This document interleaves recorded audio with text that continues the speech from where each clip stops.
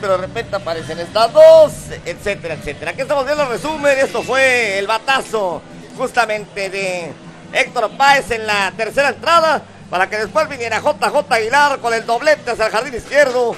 Imposible el lance de Sergio Contreras y venía la carrera de la quiniela en los spikes de José Juan Aguilar mientras brillaba Macías por un lado, Negrín por el otro. Porque la verdad es que los dos se enfrentaron en un tremendo duelo. Mira este out extraordinario en el tiro. Cuando Aguilar quiso hacer triplete, ese batazo en el tiro de Gastelum de relevo. Y luego iba a aparecer ya la novena entrada, donde a Campustón le abrían con este para hablar central. Y los Leones iban a fabricar tres innings. Sí, aquí está Jiménez abriendo el inning. Después este batazo que trata de Villarreal de cortar, no lo consigue. Se va la pelota hasta el fondo del jardín.